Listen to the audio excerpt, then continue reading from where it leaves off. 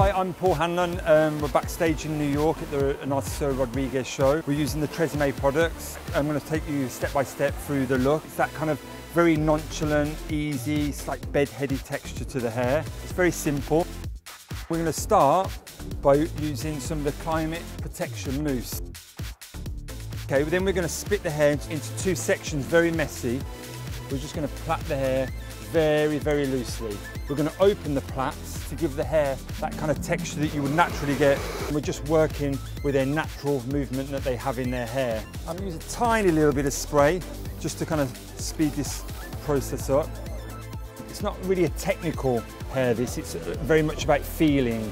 And just with my hands, we're going to rub it up so you will get that sort of bedhead feel to the hair. That's great, perfect. And that's it.